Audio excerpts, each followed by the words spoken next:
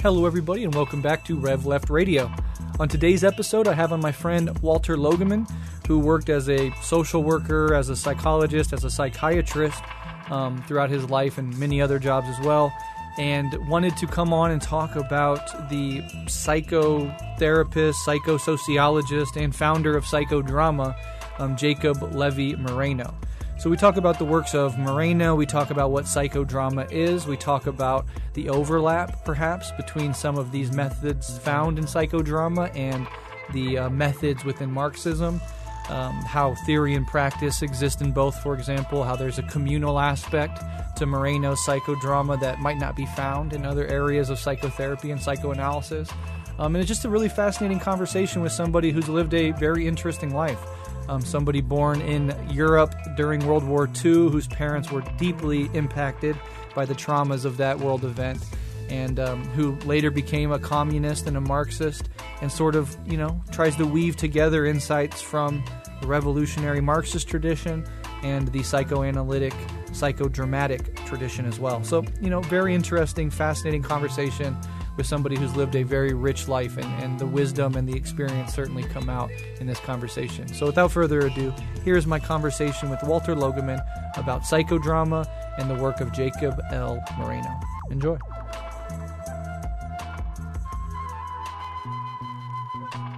I'm Walter Logeman, and thank you for uh, hosting me on this show. That's wonderful.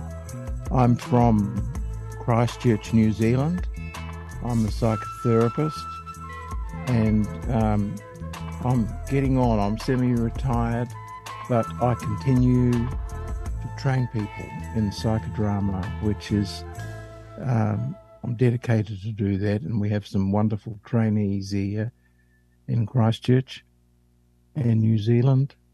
Um, I'll say a few words about my background because and how I got into psychodrama and into Marxism. So, first of all, I was born in occupied Amsterdam. So, uh, my parents talked about German soldiers patrolling the streets as I was born. Wow. And that war had such an impact on my parents. I've heard all the stories, of course, and um, but uh, as a psychotherapist now, I can see that it screwed them up, and they didn't really. They they talked about it. They were good in that way, but they couldn't stand being in Holland anymore. Really, the memories were. That's what I'm. That's my interpretation. And then they migrated to Australia to get away from it. And I grew up in Sydney and um, similar to them, I moved away from what was difficult there, and I came to New Zealand, which is not that far away, um, in the '60s, and I came and did a lot of mountaineering at that time, and I worked in construction sites and so on, but I finished up going to university here, doing philosophy and English, got married, had a son. I'll, I'll mention here the counterculture, even though we're so far away from San Francisco where it all happened and began, it had a huge impact on my life. And I was very intrigued by it. And uh, with my wife then, we created um, an inner city commune and an alternative school. And we could say more about this later, but it hit me that those things were not working, even as I was active, very active in those areas. And um, then I came across Engels uh, utopian socialism, and uh, that was the beginning of Marxism. And I joined the Communist Party in New Zealand in the early seventies. Then the marriage broke up, and that was so painful and so difficult. And as you can understand, I'm sure the comrades at that time were not helpful. I, I don't blame them. I mean, it was just very tricky. Um, but I went to a psychodrama group, and that was enormously helpful. And from then on, I was active in that area. I was a social worker by that time, and um, so it became a professional and personal journey. So that's my bio, really. yeah, well, that's that's fascinating. I kind of have a couple follow up questions about about your bio in particular. Um, you said that your your parents obviously were living in Europe during, uh, assuming World War II. Yeah. What was their uh, uh, political reaction uh, during or maybe after the the war? Did they did their politics shift in any way, or was it more of a personal tragic story, or, or how did they respond to it in that sense? Uh, it's probably more personal, but um, my grandfather, who I never met and who died in the war, he was um, a socialist. I have a story where my father, um, at some very early age, went to listen to Rosa Luxemburg as she was talking for the first in the First World War. You know, coming to talk in Amsterdam about that. And my father went to one of those rallies, and his father was a sort of socialist at the time. And so we come from that tradition in the family. And my father was initially pacifist and against the war, but when he saw what was happening, like so many people, he in, in the Second World War, he uh, well he had to enroll. He was enlisted, but he was okay with fighting in that war, and he has terrible stories of the war. Um, just horrendous. I won't even go into them. But when he was fighting on the front, that traumatized him, I think, enormously. And his politics, they just became. He he he he was in the resistance, and um, he tells a story where the communists in the resistance uh, was taking pot shots at the Germans at the, who were occupying Amsterdam. And then by retaliation, they would kill all the men in the block of flats or houses where someone was killed. Jesus. That sort of ultra left, he, he didn't like that and he quit. And he saw them as too extremist. So that was what I grew up with. But and I can understand that that wasn't a good strategy. I mean, he just saw too many people die. Yeah. But um, just on the same theme, my mother tells a story where she saw children being going into a tram, and she knew these were Jewish children, and she knew they were going off to Germany, and she knew they'd never come back. And she told me that story quite a few times. And look, I'm I'm I'm in my late seventies, and it's hitting me home more now than when I first heard it. You know, it's a um, no wonder she went crazy. She did. I had to live with a crazy mother. Yeah, that's absolutely brutal, and that was, I think, sort of par for the course at that time, which is these dramatic, traumatic, life altering, you know, psychological experiences. I had grandparents, for example, that fought in World War II and had, you know, similar levels of of basically what we now know as PTSD, exactly. um, but were never really known or covered as such back then. And so a lot of people, a whole generation really, suffered in, in silence, not even having conceptual words to make sense of, of the specific sort of suffering that they were enduring. Um, and I think a lot of intergenerational trauma gets handed down in that way. If you have, uh, you know, trauma of such in, insane depths that goes more or less untreated, you have no social institutions that can bring people in and treat them in mass, then a lot of that uh, gets pushed down generationally with how those parents might lash out or treat their children, and then they pass on some pathologies to their grandchildren, etc. Um, at least it, I've seen it in my family, at least. Yeah, in my family. That's and and we must be typical of so many, mm. and so we're living in a traumatized culture. Really, no wonder we everyone has trauma. You know. Yeah, absolutely, and the and the traumatic events don't seem to be stopping or, or slowing. In fact, they seem to be speeding up as of late. Um, I just I know even though it's it's no comparison to World War II, but just the uh, isolation of of the pandemic had del- deleterious psychological effects on huge swaths of the global population, and um, even the teenagers in my life have struggled with depression coming out of the isolation. I myself, you know, was impacted negatively by by that, and um, yeah, it just seems like more and more these these events are sort of piling up at a rapid pace, and I think there's a mental health crisis currently in the world right now that we're gonna really get the full, you know, grasp of in the years to come.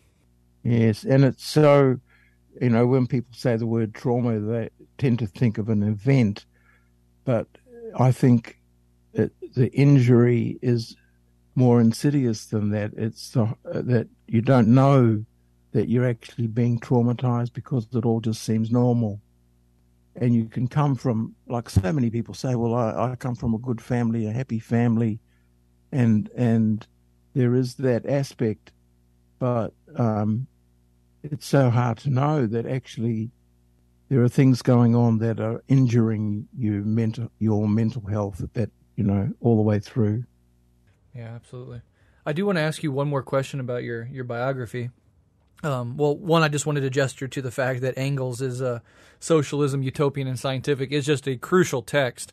It, it, was it was changing, you know, for me as well. When the first time I read it, it made so many things clear. It's very accessible. Um, anybody out there who's trying to maybe push a friend leftward, that might be a very helpful text to, to recommend. But I wanted to ask about how you how you came to get interested in psychology, and, and eventually you became a, a, clinical psychiatrist, if I remember correctly. Can you talk a little bit about how you got into that line of work and who your influences were? Yeah, I'm qualified as a social worker. Mm-hmm.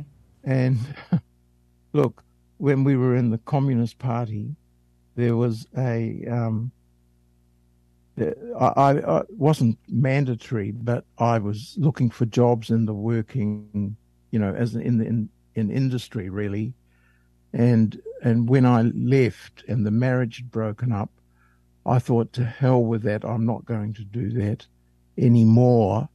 And um, I I looked for a job. I called it a wanker's job.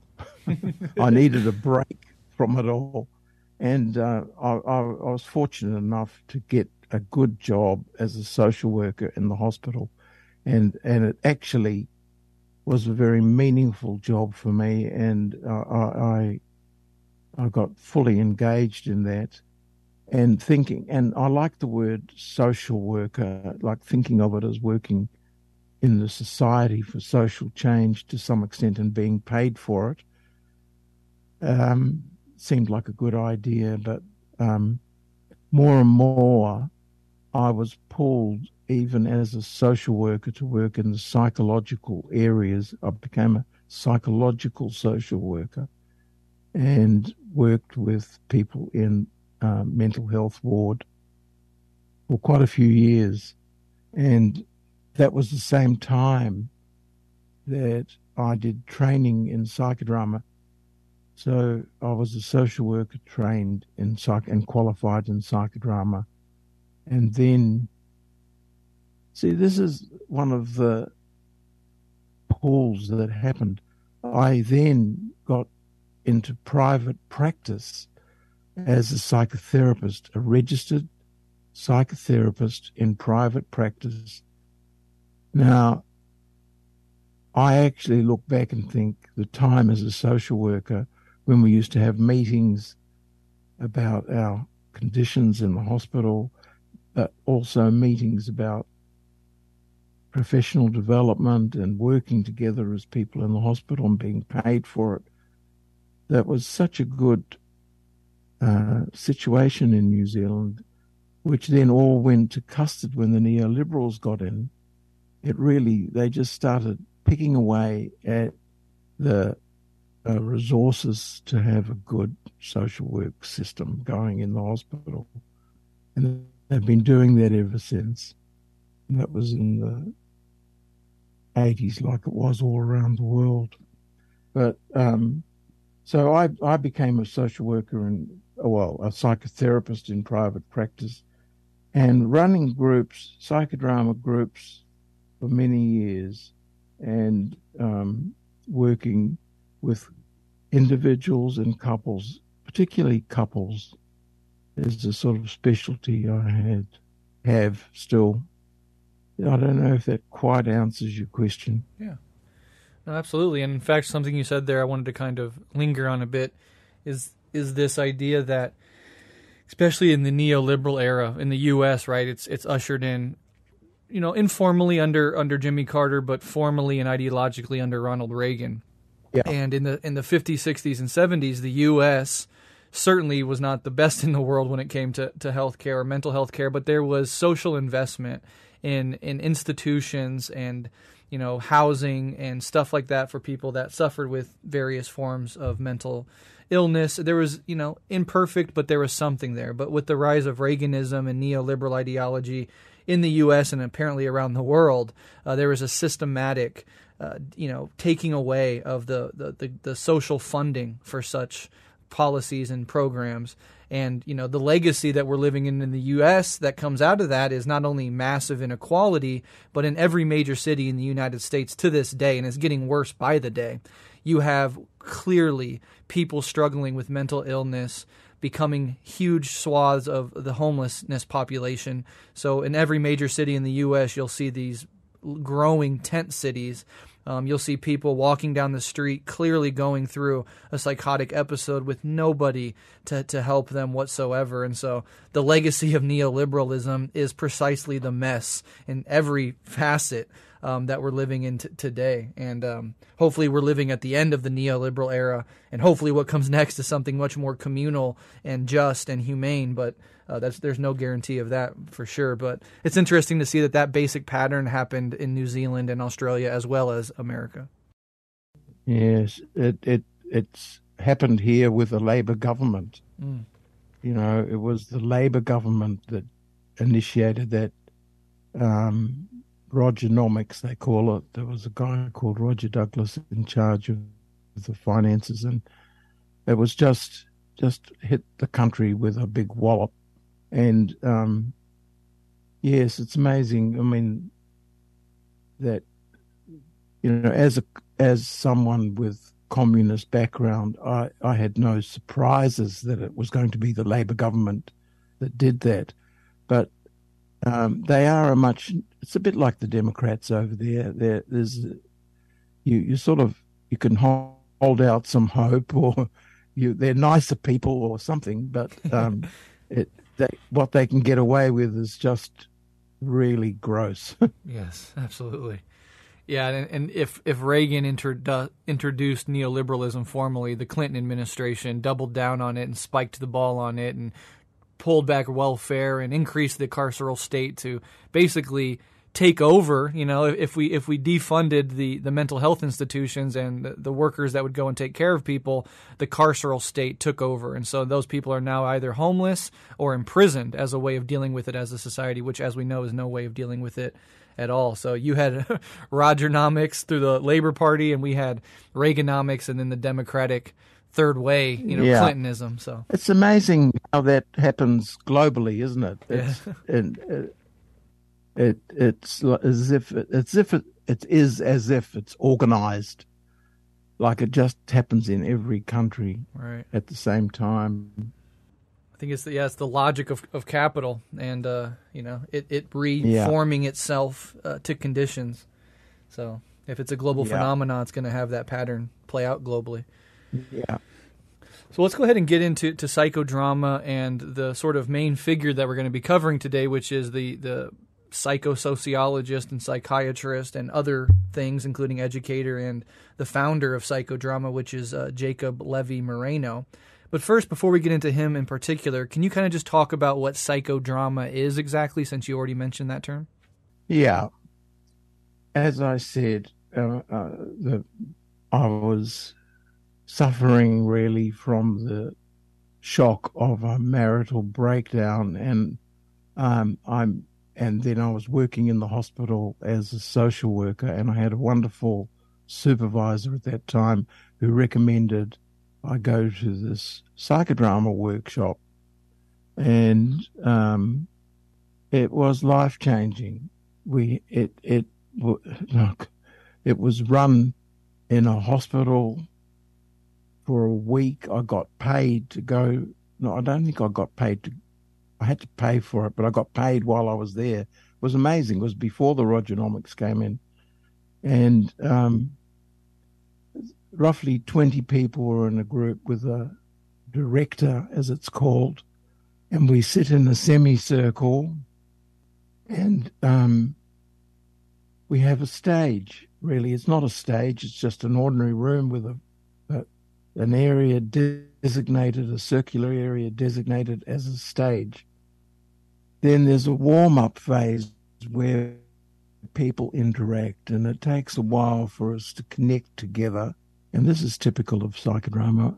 It starts with warm up, and then a theme emerges, which might be something like feeling isolated or traumatized in some way.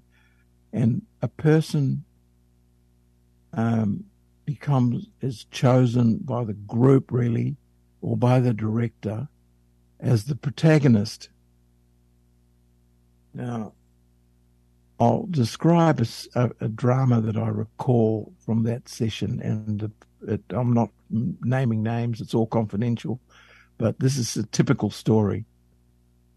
He talks about growing up in a Catholic environment and um, being with priests and nuns and nuns rapping him over the knuckle and you know generally being beaten up and feeling isolated and get being told about hell. And the drama then becomes very active. 20 people are portraying the culture of growing up catholic in new zealand including hell there's there's one you know people get very spontaneous and we can see people burning in hell and we can see priests doing what priests do and nuns rapping him over the knuckle. And he plays his the part of these um, people and that we use a technique called role reversal. So the director will say go and be one of these nuns and then uh, reverse roles. And so we see what the he experiences, what the nuns do, and um, then this this traumatic scene is fully alive, and it's like we're in his world as a child growing up. And then he, the director says to the child, "Where's God?" Well, God's up there. So, okay, reverse roles with God. And um, all the tables and chairs get stacked up. And literally, we have God sitting up there right at the top of the pile. And it, it, it, it's, it's very dramatic. And reverse roles with God. Be God. And God looks down and he sees people enacting this world and God starts to laugh and he looks down and he says, It's all fucked and and uh, reverse roles. So he has to climb down from the from heaven and uh, reverse roles with this little boy, and someone else goes up and takes on the part of God, and then the five year old hears those words coming out of the sky. It's all fucked. Now that that's the climax of the drama, and um, it's a beautiful drama to watch. It, it, like I've never gone back to live theatre. You know, it, it it was just so authentic and touching and moving, and um, then that is followed by what we call sharing.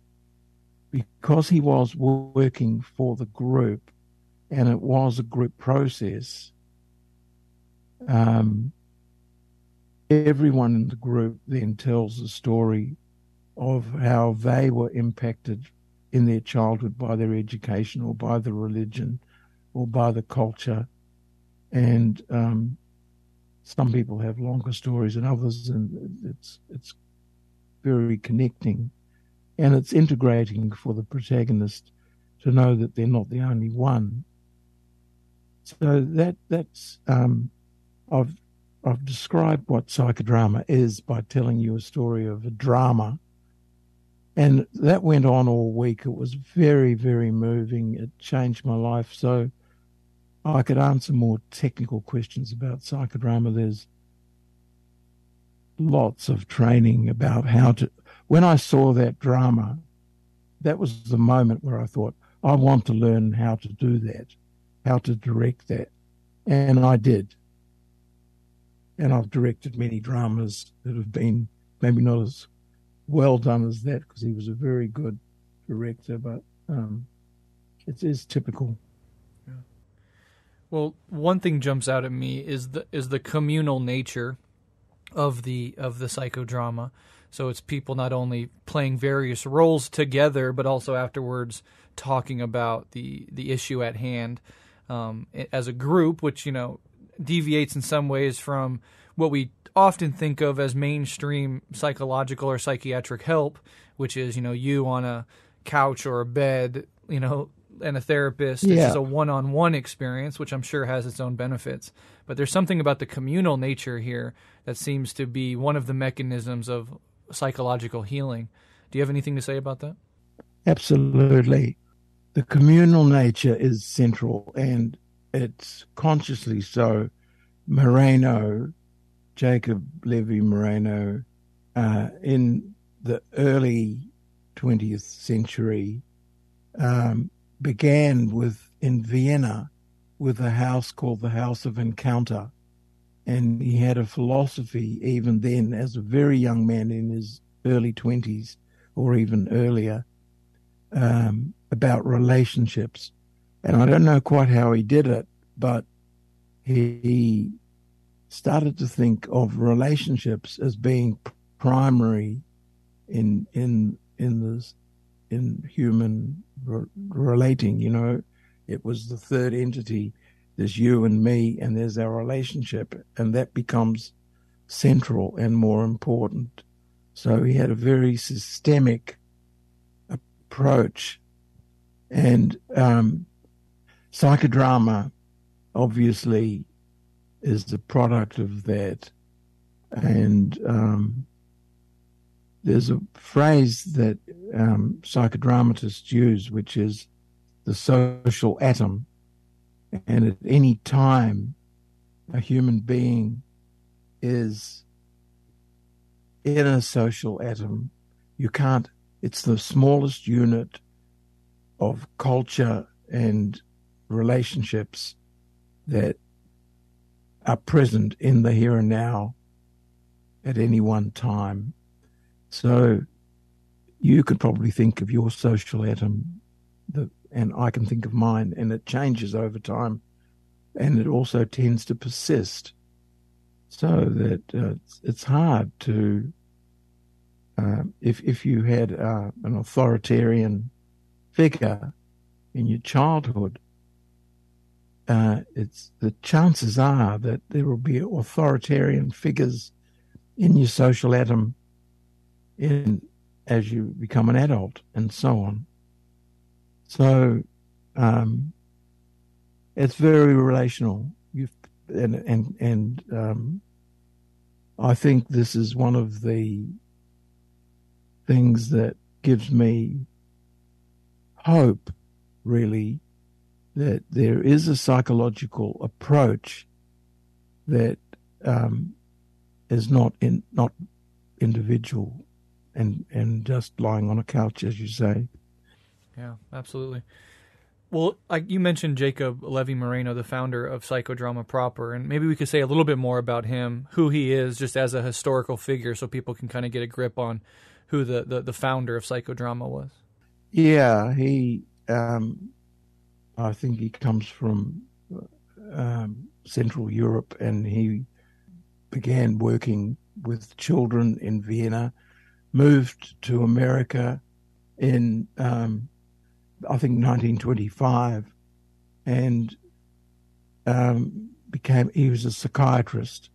And um, he, in, in New York, in, in New York, really, he ran psychodrama groups and he became quite famous for a while. He had a journal called Sociometry. Like, in addition to psychodrama, there's there are streams of of uh, practice, and one is sociometry, another is sociodrama. And uh, he actually says some at some stage, I, he was more interested in changing the world with sociodrama and sociometry, but everyone wanted to do psychodrama. And um, so those streams aren't as well developed. But the main journal, which was big at the time, I think it was called Sociometry, and he gifted that to um, the sociology people, who then changed the name and called it soci- so, uh, sociology, but that was the history of the Journal for Sociology. Uh, probably many now, but that was the main one at one stage in probably the 40s, 50s. Yeah, he's a he's a he's a larger than life figure. He gets um, quoted. I have read him extensively, and um, I, I'm you know, I like reading his concepts and so on.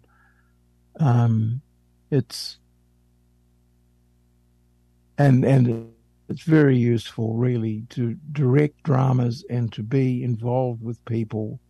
Does require having a sense of the structure of the psyche and how things work uh, psychologically, and his concepts are of, as we've already covered, relationships are powerful. He also has a concept of spontaneity, which, and warm up. Warm up is wonderful, complex concept that he he in, invented or named um, that you can't really get into being spontaneous without a period of warm up. And spontaneity leads to creativity. So they're very central to his um, philosophy. Yeah, well, I, I, I want to kind of focus maybe on that, that spontaneity, creativity theory of Moreno's and how it relates to um, psychoanalysis and psychotherapy more broadly, because it seems to me that the emphasis on spontaneity and its adjacent uh, emphasis on improvisation in the psychodrama is psychoanalytic in that it is attempting to, you know, through spontaneity and improvisation, take off the sort of egoic lid on the unconscious and allow things that would otherwise be repressed, or if you were just talking in a situation, the person might have a, a chance to sort of filter or hold back some elements um, of their of their issue. But through spontaneity and improvisation, it seems like that lid kind of comes off, and things can more easily flow forward. Um, you know, without that ego playing the role of you know lid, of putting the lid on the thing, as it were, and that's kind of a crude way to put it. But I was wondering if I'm if I'm if I'm on the right track there with my understanding of the role that spontaneity. No, it's a plays. very very good way of putting it, and um, I think he he talks about having um, met with Freud, and he says, um, "You." He has a little story where I don't know if it's true, but he says he met Freud and said, "Mr. Freud, you." Um, analyze people's dreams. I help people dream again mm. and their dreams come true. He also has, he claims he invented everything. And um, I don't know how to go along with it. He was a bit of a megalomaniac. In fact, he speaks of his own megalomania as um, a positive trait. um, as as a megalomaniac would. yeah, as a megalomaniac would, and and um, oh, he invented the concept of the here and now, which is very important in psychodrama in that we we are able to go what is happening now who is here now even though we're looking at something in the past sometimes i can remember doing a drama about when i was about 10 but the the way it's talked about is who else is here be 10 now so I'm not going back into the past. I'm reliving it in the here and now.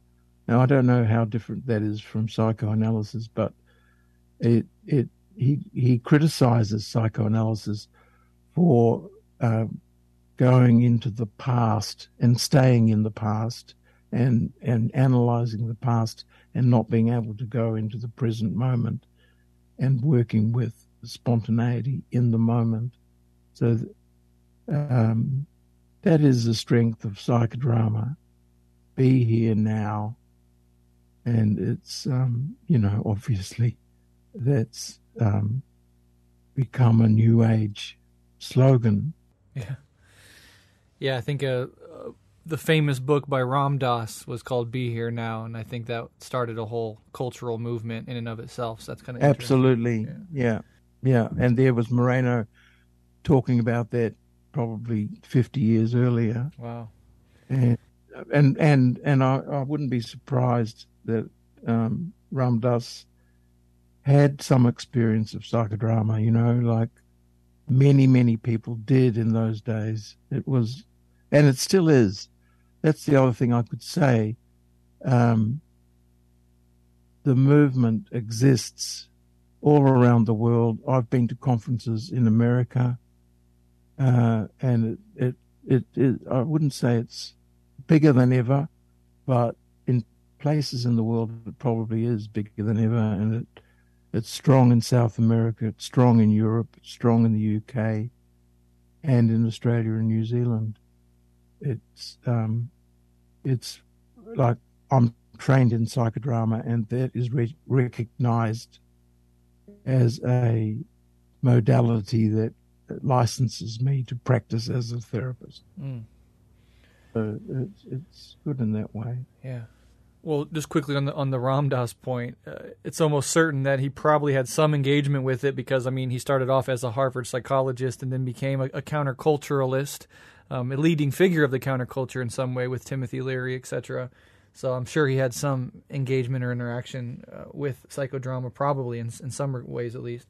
But something that stands out as you talk about um, the psychodrama and, and its approach to trauma in particular is that it seems like modern, you know, treatment for PTSD does involve a bringing back of the traumatic experience in a situation where or you know a psychological situation where the, the, the threat is not immediate and sort of working through the feelings um, is is how you address the PTSD. And now with the introduction of hallucin- hallucinatory substances like like mushrooms or even the use of MDMA is specifically meant to treat PTSD.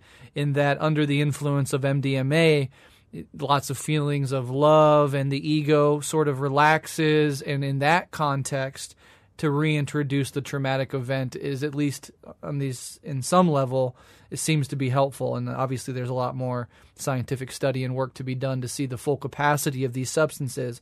But it seems interesting that what is being done with MDMA seems very similar to what's being done in psychodrama, in that you're creating a safe, even novel uh, situation in which some traumatic event can be brought back up and dealt with uh, in a way that's not destabilizing. Uh, do you have any thoughts on that? Yes, uh, it, it, does sound uh, intriguing and and and uh, I, makes sense to me, and uh, I think it's worth pursuing. I think one of the things that you know with the set substance and what what are those three things? Setting, set, set setting, and substance. Yeah, um, the setting in, is often includes a guide or a person and or people, and I, I imagine in those indigenous experiences of ayahuasca and so on, that there's quite a lot of um, communal support, um, a culture that of people, who, you know, who um, experience that together, and um, it forms a bond with people. So I think the relationship aspect is quite important. I mean, people on their own, without guidance, without knowing what's happening, would probably freak out and get very little out of it. Yeah, I could could not agree more. And there's even, I mean, we had an episode on on ayahuasca uh, with our friend Joshua Kahn Russell, and, and there's a ritualistic approach to the whole thing. So it's not simply the taking of a substance, but it's the, the ritual dressing that yeah. goes around the taking of the substance that helps, yeah. you know, ground people, etc. And it's communal as well, so that has to help. Um, yeah, so I kind of want to talk and, and, kind of switch the topics just a little bit now that we have an idea of psychodrama, of Jacob Moreno and its relationship to psychoanalysis more broadly. This is something I'm always interested in as a Marxist podcast is the relationship between psychotherapy, psychoanalysis, psychodrama, and Marxism or revolutionary politics more broadly. Certainly, some are suspicious that there's any substantive relationship here at all. Uh, many others have made careers trying to weave together various aspects of these things. I think of elements of the Frankfurt School, for example, bringing in psychoanalytic theory and trying to merge it to some degree with Marxist, um, you know, analysis. So, what is your take on on this relationship, and why should Marxists in particular care about the work of of Moreno or people like him? Right. It it it's interesting because Moreno, um, his seminal book, which is called "Who Shall Survive," is um, I I've got a digital copy and I looked. It had I think it's got about 150 references to Marx, more more to Marx than to Freud. He is obsessed with Marx, really and um, because he was interested in changing the world, he, he, he had a, he had that consciousness.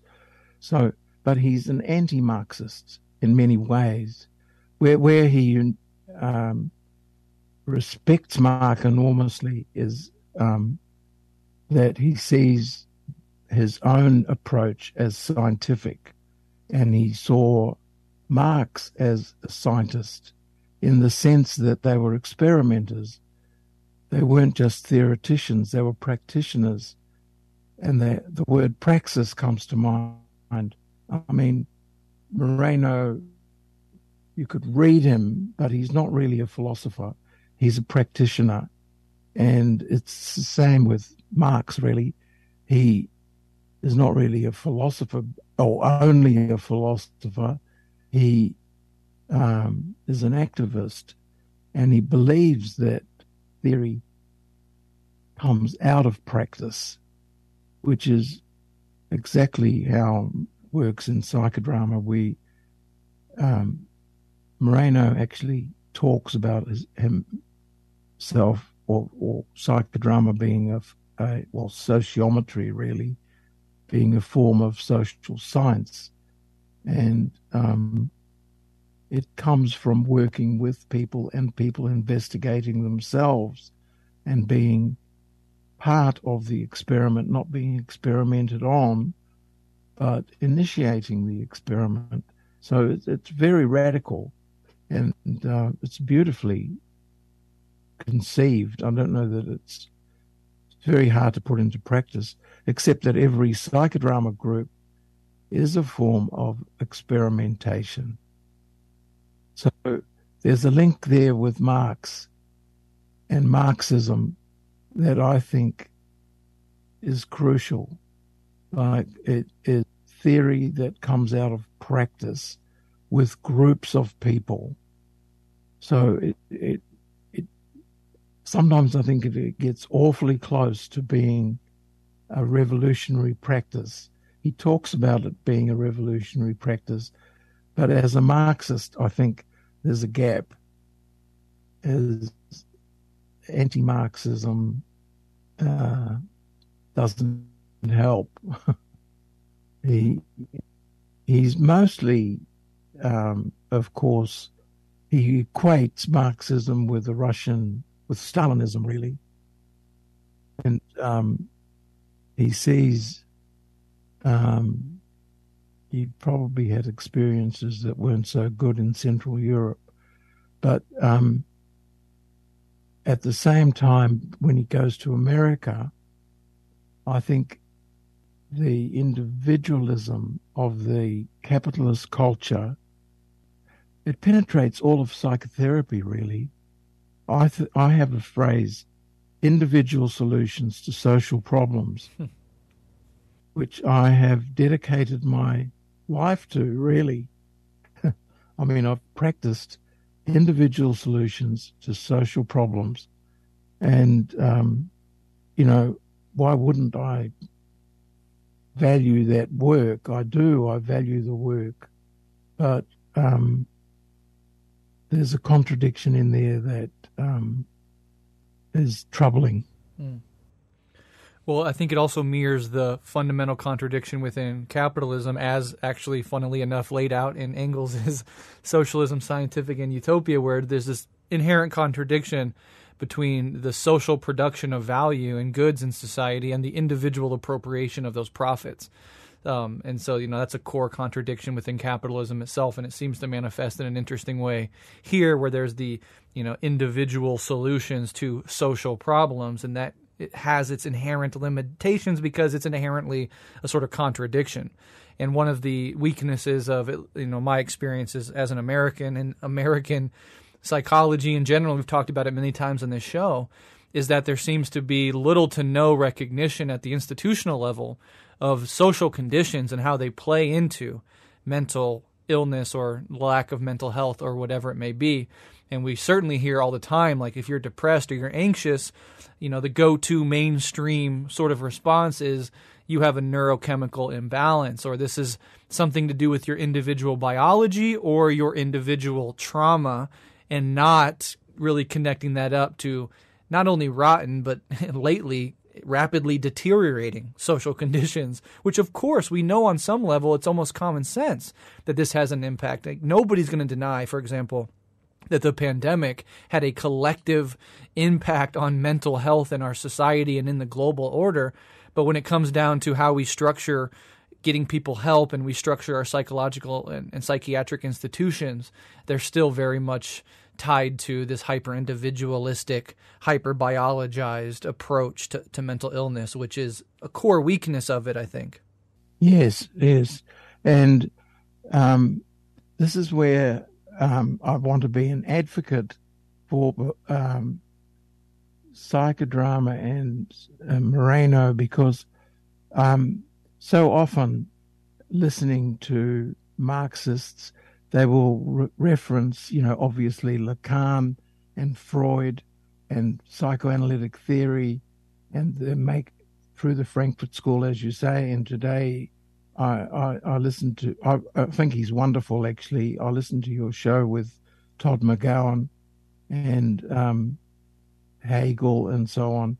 Uh, and yet, I think I wish some of these theorists and and and Marxists knew about Moreno. Like one concept that we have in psychodrama is the concept of role.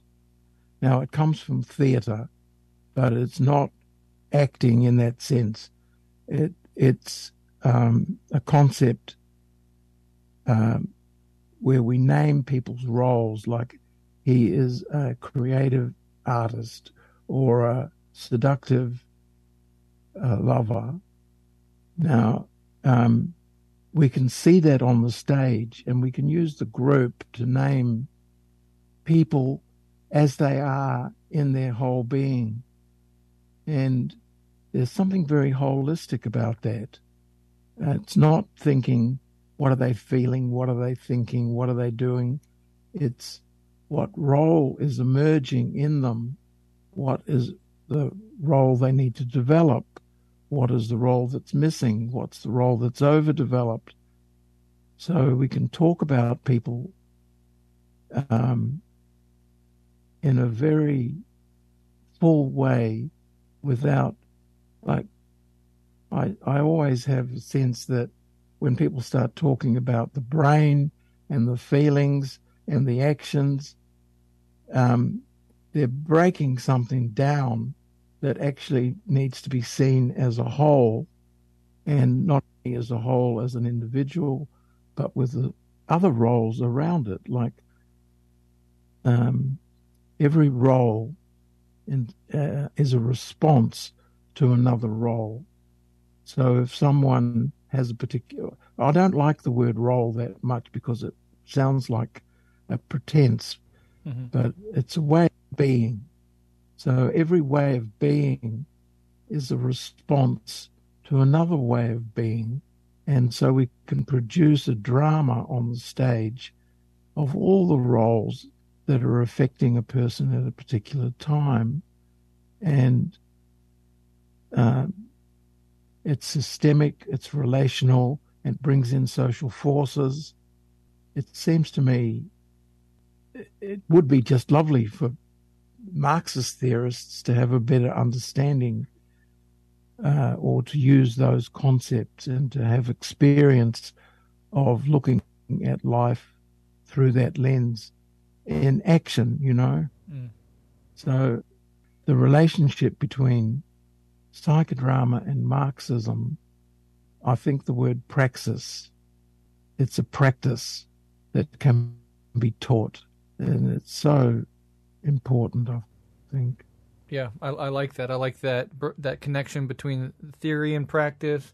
Um, and you you said this experimental approach as well as the communal aspect of it as well. These are all things that kind of set it apart from other forms of psychotherapy and that seem to dovetail or at least have the possibility of dovetailing with a Marxist, you know, framework in general.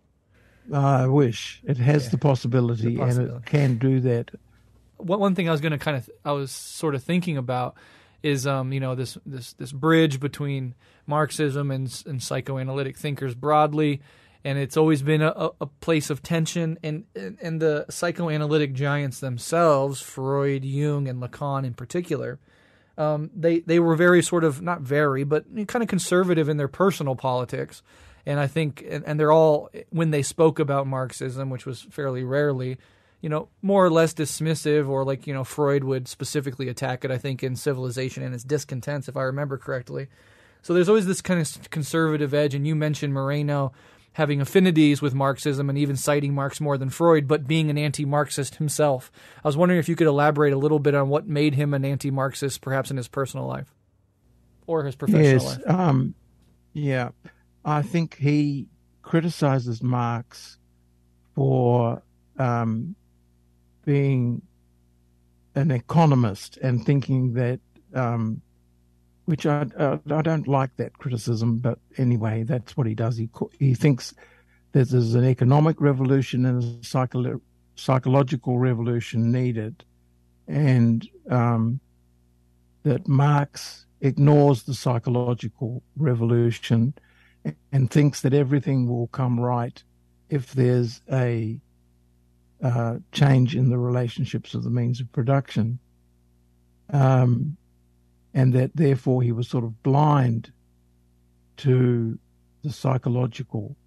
And Moreno almost wants to turn it the other way around. Like if we have a psychological revolution, then the other things will follow. So he didn't see Marx as uh, having an understanding of small groups and being too general about big groups like class. That's one of the criticisms of Marx that he has. I think it's a. Um, I think whenever I read his criticisms of Marx, I just, I think, no, he's wrong. He doesn't get it. He's an idealist. He thinks ideas are more important than. Uh, he thinks that that Marx's ideas weren't right, um, but he doesn't really get that it is history that um, we're dealing with, and um, you know the Marxist. You can probably articulate it more uh, better than I can, but um, he just thinks I've got better ideas than Marx. Mm-hmm. That's his criticism of Marx, which I think sort of misses the point about Marxism being uh, under, understanding the class structure um, as like a material basis is going to really be the fundamental aspect of what creates change. Mm. Yeah. And I mean, Mark, there's a Marx quote that I think sp- specifically answers the criticism that, you know, he's, um, that there's a psychological revolution needs to take place before a, a, material political revolution. The famous Karl Marx quoted it is it is not the consciousness of men that determines their existence, but on the contrary, their social existence determines their consciousness. And so if you want a psychological or a spiritual revolution, the Marxist argument would be sure, but that has to um, come almost after a change in the mode of production and the social relation. So we have the revolution that overturns the capitalist mode of production and its social relations, thereby creating space and opportunity and possibilities for new ways of engaging the consciousness, of developing the psychology, etc. And so you know, I kind of think of them as a, in a dialectical, uh, you know, relationship where they can it can sort of be both and where we you know we work on certain fronts yeah. alongside our political work. It doesn't necessarily need to be a chronological, stagist approach. Um, but certainly, I'm a Marxist in the sense that I think the material mode and social relations um, are ultimately determinative of how people broadly think and experience their lives and themselves. And so, you know, it would have to come with a radical change on that front to open up the possibilities and the horizons of a spiritual or a psychological evolution. Yes, well, well put. That that's and and yet in there in that dialectical relationship, I think the emphasis uh, in Marx is on the structural, and and um, perhaps Moreno is right. That would be wonderful if um, group practice was, I mean, organizations need to develop to create social change, and um, they often falter and they don't have a way of dealing well with their group process. And um, the um, Moreno methods do have an enormous richness for dealing with group development, and that that could help um, social and political organisations. I mean, at the moment, people who are trained in these methods often get jobs in organisational development, helping corporations and capitalist firms, you know, yeah. have better leadership. That's how it's gone. mm-hmm. Yeah, absolutely. And we were talking earlier about hyper individualism um, in our society, and you can see the the deleterious effect that hyper individualism has when people, even of a shared political program on the left, let's say, try to get together organizationally. A lot of those hyper individualistic impulses come out. Certain people, dominated by their egos, want to be the next Marx or the next Lenin, or think their ideas are more you know accurate than the collectives or you know dressing up interpersonal yeah. disputes as ideological ones these are all things that eat away at, at organizations from the inside out and so to have a psychodrama you know approach within these organizations or anything like it where you communally work out things um, in in that way at, alongside your political organization could probably bring people together, kind of hedge against the the sharpest edge of individualism, and and present something like you know uh, something good for the for a movement of that sort. It could be helpful and that's what i mean is it doesn't have to come one after the other but these things can be sort of experimented with together. Yes yes.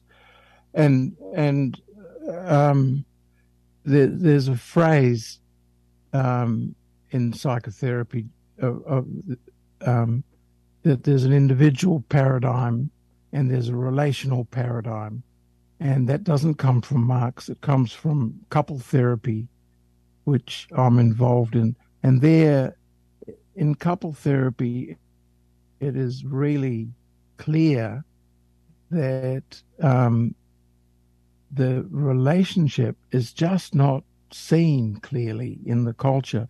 The primacy of couples.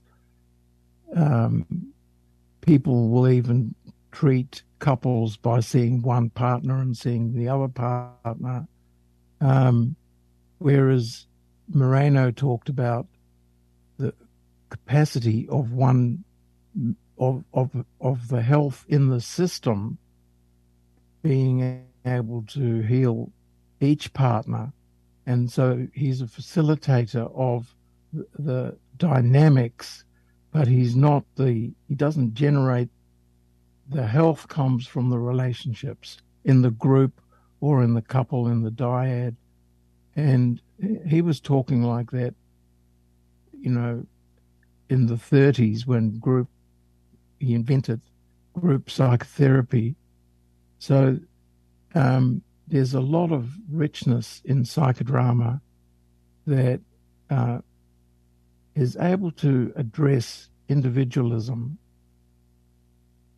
and uh, I think that's important because at the same time, individualism creeps into everything we do. It's very hard to um, fight against.